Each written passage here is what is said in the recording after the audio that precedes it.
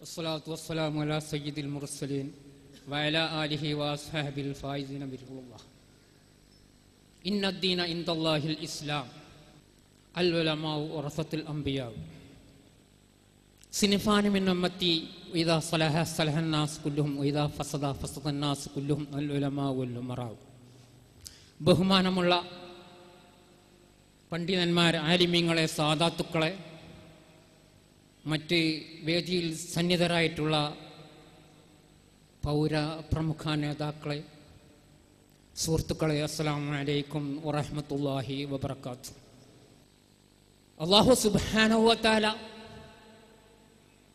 വിശുദ്ധ ഖുർആാനിലൂടെ നമ്മോട് അറിയിക്കുകയാണ് ഇന്നദ്ദീന ഇന്ദാഹിൽ ഇസ്ലാം. അള്ളാഹുവിന്റെ അടുക്കൽ സ്വീകാര്യമായ മതം ഇസ്ലാം മതം മാത്രമാണ്. അള്ളാഹുവിന്റെ റസൂൽ നബി കരീം സല്ലാഹു അലൈഹി വസല്ലം പറയുന്നു അല്ലുലമാവു ഉറസത്തുൽ അംബിയ. പണ്ഡിതന്മാർ ആലിമീങ്ങൾ അമ്പിയാക്കളുടെ അനന്തരാവകാശികളാണ്. മറ്റൊരു അതിഥിൽ പറയുന്നു സിൻഫാനുമിന്നമത്തി സലഹ ഫസദ അൽ ഉലമാവു രണ്ട് വിഭാഗം ആളുകൾ അവർ നന്നായാൽ എന്റെ സമുദായം മുഴുവൻ നന്നായി. അവർ ഫസാദായാൽ എന്റെ സമുദായം മുഴുവനും ഫസാദായി എന്ന് നബി കരീം സല്ലാഹു അലൈഹി വസല്ലം ആദൻ നബി അലൈഹിസ്സലാം മുതൽക്ക് ഒരു ലക്ഷത്തി ഇരുപത്തിനാലായിരത്തോളം അംബിയ മുർസലുകൾ ഇവിടെ പ്രബോധനം ചെയ്തിട്ടുള്ളത് ഇസ്ലാം മതം മാത്രമാണ്. ആ ഇസ്ലാം മതം അവസാനത്തെ കണ്ണിയായ മുഹമ്മദ് മുസ്തഫ സല്ലാഹു അലൈഹി വസല്ലമ്മയുടെ വഫാത്തോടുകൂടി ഇവിടെ അമ്പിയാക്കന്മാരുടെ വരവ് നിന്നുപോയി. പിന്നെ ഇവിടെ ഈ ലോകത്ത് ഇസ്ലാം മതത്തിനായി ഉള്ളത് റസുൽ കരീം സല്ലാഹു അലൈഹി വസല്ലമക്ക് അള്ളാഹു നൽകിയതായ മൊയ്ജിസത്തായ വിശുദ്ധ ഖുർആൻ മാത്രമാണ്. ആ വിശുദ്ധ ഖുർആൻ ഖിയാമന്നാൾ വരെ നിലനിൽക്കുന്നതാണ്. ആ നബി കരീം സല്ലല്ലാഹു അലൈഹി വസ്ലം പറഞ്ഞത് അല്ലുലമാ ഉറസത്തുൽ അംബിയ. പണ്ഡിതന്മാർ അമ്പിയാക്കളുടെ അനന്തരാവകാശികളാണ്. അപ്പോൾ ഇവിടെ ഇസ്ലാം മതം പ്രചരിപ്പിക്കേണ്ടത് ആരുടെ കടമയാണ്? അമ്പിയാക്കളുടെ കടം കടമ കഴിഞ്ഞു. അതിന്റെ ശേഷം റസുൽ കരീം സല്ലാഹു അലൈഹി വസല്ലം പറഞ്ഞ ആലിമീങ്ങളുടെ കടമയാണ്. ഈ ആലിമീങ്ങൾ ആരാണെന്ന് ശരിക്കും നാം ചിന്തിക്കേണ്ടതുണ്ട്. അതാണ് മറ്റേ ഒരു ഹദീസിൽ ഞാൻ ഓതിയത്. സിൻഫാനുമത്തി സലഹ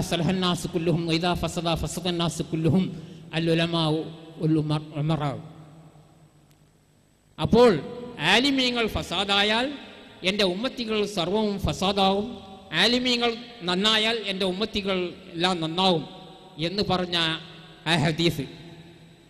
അപ്പോൾ അമ്പിയ റസൂൽ കരീം സല്ലാഹു അലൈഹി വസല്ലം ഈ പറഞ്ഞ പണ്ഡിതന്മാരാരാണ് നമ്മൾ ശരിക്കും ശ്രദ്ധിക്കേണ്ടത് അഹുലുസുന്നത്ത് വൽ ജമാഅത്തിന്റെ നേതാക്കളായ പണ്ഡിതന്മാരെ നാം അംഗീകരിക്കേണ്ടത്.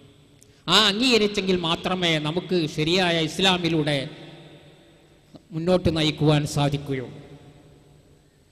പല രൂപത്തിലുള്ള പണ്ഡിതന്മാരും ഉണ്ട്. ദൈ പ്രസ്ഥാനത്തിൽ പണ്ഡിതന്മാരുണ്ട്. അവർ ഇസ്ലാമിന്റെ വിധിവിലക്കുകളെ വികലമാക്കുകയാണ് അവരുടെ പ്രവൃത്തി. അവർക്ക് ഇരുപത്തിനാല് മണിക്കൂറും വിധേയ പ്രസ്ഥാനക്കാരുടെ പണ്ഡിതന്മാർക്ക് ഇസ്ലാമിന്റെ നിയമ നിയമങ്ങളെ വികലമാക്കുകയാണ്.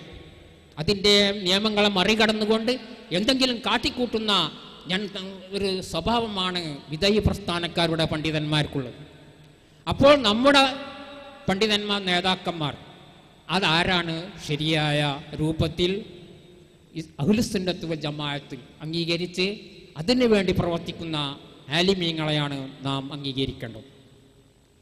അതായിരുന്നു ഇപ്പോൾ ഈയിടെ ഒഫാത്തായി പോയ താജുലമ സയ്യദ് അബ്ദുറഹ്മാൻ കുഞ്ഞിക്കോയത്തം. മഹാനവർക്ക് അള്ളാഹു തല മഹഫറത്തും മർഹമത്തും നൽകട്ടെ. ആ മഹാന്റെ നേതൃത്വത്തിൽ നമ്മളെല്ലാം അണിനിരന്നു. ബഹുമാനപ്പെട്ട കമറുൽമ എ പി അബൂക്രസ്ലുകാരുടെയും നേതൃത്വത്തിൽ നമ്മൾ അണിനിറന്നു ഇപ്പോൾ നമുക്ക് ഇവിടെ ആ സ്ഥാനം സ്ഥാനാരോഹണം ചെയ്തിട്ടുള്ളത് എം എ അബ്ദുൽ ഖാദർ മുസ്ലിയാറാണ്. എം എ അബ്ദുൽ ഖാദർ മുസ്ലിയാരുടെയും കമറുൽ എ പി അബൂബക്കർ മുസ്ലിയാരുടെയും നേതൃത്വത്തിൽ നമുക്ക് പ്രവർത്തിക്കുവാൻ അള്ളാഹു താല തൗഫീക്ക് നൽകട്ടെ. താജുലുൽമയുടെ കാര്യം പറഞ്ഞപ്പോൾ ബഹുമാനപ്പെട്ട കണ്ണിയത്ത് അഹമ്മദ് മുസ്ലിയാരുമായ അഭേദ്യമായ ബന്ധമായിരുന്നു ഉണ്ടായിരുന്നത്. വാഴക്കാട് രണ്ടാമത് ദരിസായിരിക്കെ കണ്ണിയത്തിന്റെ ദർസിൽ ദർസ് പഠിക്കുകയും കണ്ണിയത്ത് മാട്ടൂലിലേക്ക് പോയപ്പോൾ മാട്ടൂലിലേക്ക് കണ്ണിയത്തിന്റെ ഇൽമ നുകരാൻ വേണ്ടി മാട്ടൂലിൽ എത്തിച്ചേരുകയും ചെയ്തു. അതിന്റെ പിന്നാലെ തന്നെ മാട്ടൂലിലേക്ക് വാഴക്കാടുണ്ടായിരുന്ന അന്നത്തെ അതിന് ശേഷം സമസ്തയുടെ വളരെ കാലം ജനറൽ സെക്രട്ടറി ആയിരുന്ന ഷംസുല്ലുലമയും മാട്ടൂലിലെത്തി. പിന്നീട് അവിടെ നിന്നെല്ലാം കഴിഞ്ഞാരെയാണ് കഴിഞ്ഞതിന് ശേഷമാണ് ദാറുൽ സദർ മുദ്രസായി ജോലി ചെയ്തത്. അതിന് ശേഷം വാഴക്കാട് ഒരു കൊല്ലത്തെ റമലാ മാസത്തിൽ രണ്ടാം ദിവസം വാഴക്കാട് കണ്ണിയത്തിന്റെ വീട്ടിൽ വരികയും തസ്രീഹുൽ അഫ്ലാക്ക് ഗോളശാസ്ത്രം പഠിക്കുവാൻ അവിടെ വന്ന് കൂടുകയും ചെയ്തു. ബഹുമാനപ്പെട്ട താജുല്ലുലമ ഉള്ള തങ്ങളവർ അങ്ങനെ പെരുന്നാൾ രാവിന്റെ അന്നാണ് രാത്രിയാണ് അവിടെ നിന്ന് പോകുന്നത് പോയത്. ഇങ്ങനെ കണ്ണിയത്തും താജുല്ലുലമയുമായുള്ള ബന്ധം വളരെ അഭേദ്യമായ ബന്ധമായിരുന്നു.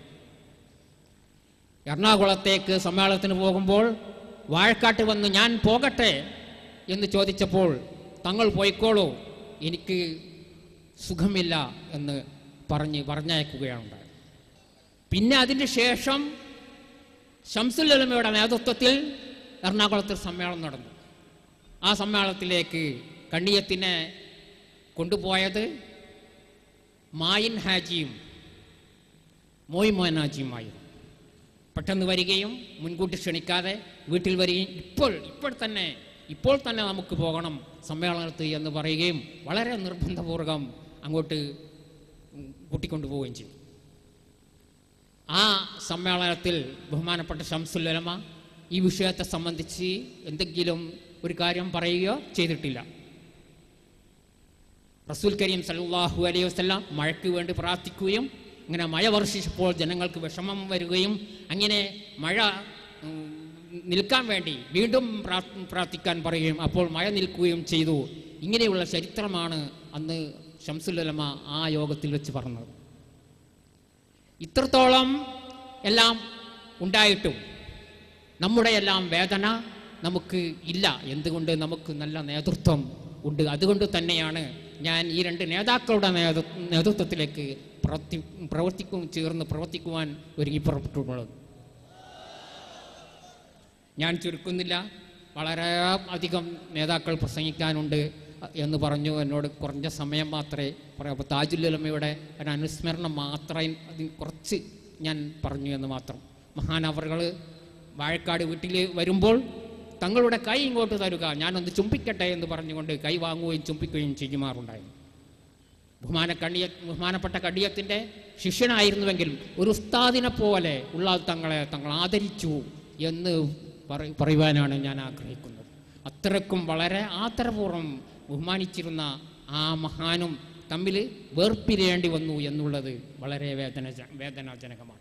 ഒരു വശത്ത് ഷംസുല്ലമ ഇ കെ ക്രംസിലെ ഒരു ഉം, ഉള്ളാൾ താങ്കളും എ പി ഒ ഒരു വശത്ത് ഷംസുല്ലമയും മുസ്ലിം ലീഗ് കയറി.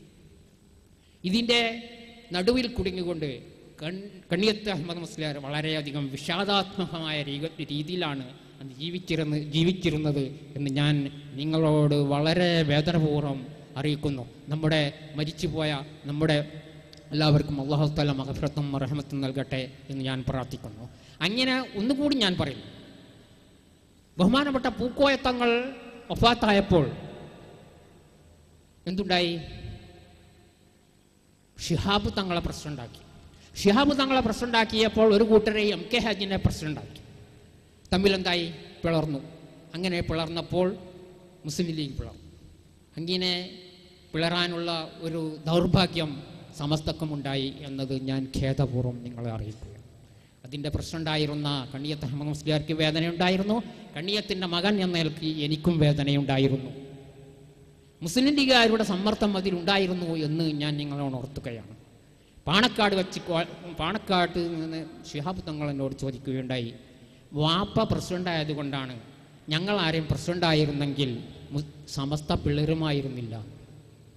എനിക്ക് ഉടനെ തന്നെ തിരിച്ചു ചോദിച്ചാൻ അപ്പോൾ തോന്നി മുസ്ലിം ലീഗിന്റെ സ്ഥാനം ഇവിടെയല്ല. എന്തുകൊണ്ട് പിളർന്നു പോയി? അപ്പോൾ തങ്ങൾക്ക് ദേഷ്യം വരികയും നീ ഇറങ്ങിപ്പോ എന്ന് പറയുകയും ചെയ്തു. ഷിയാബ് തങ്ങൾ മരിക്കുന്നതിന്റെ മുമ്പുണ്ടായ സംഭവമാണ് അതുകൊണ്ടൊന്നും എനിക്ക് വേദനയില്ല. ഞങ്ങൾ കുടുംബക്കാരാണ്. ഷിഹാബ് തങ്ങളും പാണക്കാട് ഷിഹാബ് തങ്ങളും കണ്ണിയത്തായ മുസ്ലിം കുടുംബക്കാരാണ്. ഉമ്മ കണ്ണിയത്തിന്റെ ഉമ്മ ഷിഹാബ് തങ്ങൾ കുടുംബത്തിൽപ്പെട്ടതാണ്. പാണക്കാട് പട്ടർകുളം എന്ന സ്ഥലത്താണ് കണ്ണിയത്തിന്റെ ഉമ്മയെ തോട്ടക്കാട്ടേക്ക് വിവാഹം ചെയ്തു കൊണ്ടുപോയത്. അതിരിക്കട്ടെ ആ വശങ്ങൾ അതിന്റെ ഷ്യാബ് തങ്ങൾ മരിച്ചതിന് ശേഷം അതിന്റെ ക്യാഷെല്ലാം ഞങ്ങൾക്ക് മക്കളെ ബഷീർ രാജേഷ് മുഖേന ഞങ്ങൾക്ക് എത്തിച്ചിട്ടുണ്ട്. അപ്പോൾ കുടുംബമാണ് അതുകൊണ്ട് എനിക്ക് വെറുപ്പില്ല എന്നാണ് ഞാൻ പറയുന്നത്. ഞാൻ ഇപ്പോൾ അങ്ങോട്ട് വാണക്കാട്ടേക്ക് പോകാറുമില്ല. അള്ളാഹു താല നമ്മുടെ ഈ നമ്മുടെ സംഘടനക്ക് വേണ്ടി നേതൃത്വം തരുന്ന നേതാക്കൾക്ക് അള്ളാഹു താല ദീർഘായുസ് നൽകട്ടെ എന്ന് ഞാൻ പ്രാർത്ഥിക്കുന്നു. നമുക്കും പ്രവർത്തിക്കുവാനും നമ്മുടെ കുടുംബങ്ങൾക്കും എല്ലാവർക്കും അള്ളാഹു താല ദീർഘായുസ് നൽകട്ടെ എന്ന് പ്രാർത്ഥിച്ചുകൊണ്ട് ഞാൻ അവസാനിപ്പിക്കുന്നു. അസ്സലാമു അലൈക്കും വറഹ്മത്തുള്ളാഹി വബർക്കാത്തു